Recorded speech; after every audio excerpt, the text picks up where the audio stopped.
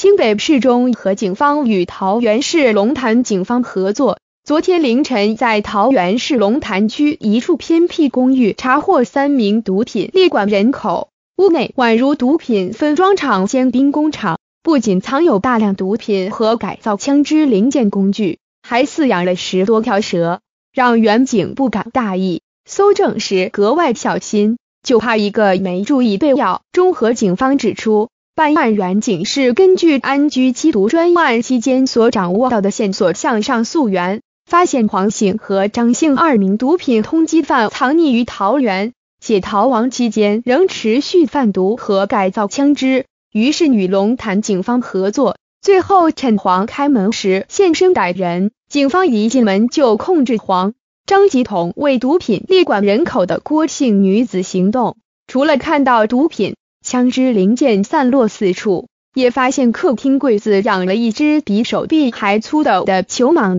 被逮的张贤自称把蛇当宠物养，大大小小约有十多只，其中有几只还有毒性。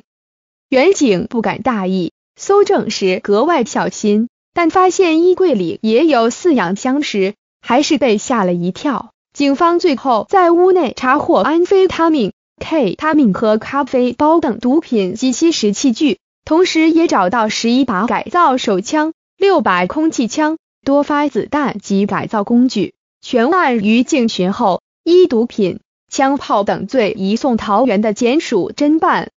新北市中和警方与桃园市龙潭警方合作。昨天凌晨，在桃园市龙潭区一处偏僻公寓查获三名毒品列管人口，屋内不仅藏有大量毒品和改造枪支零件工具，还养了十多条蛇。红圈处让远警不敢大意，搜证时格外小心，就怕一个没注意被咬。记者陈俊之翻摄分享。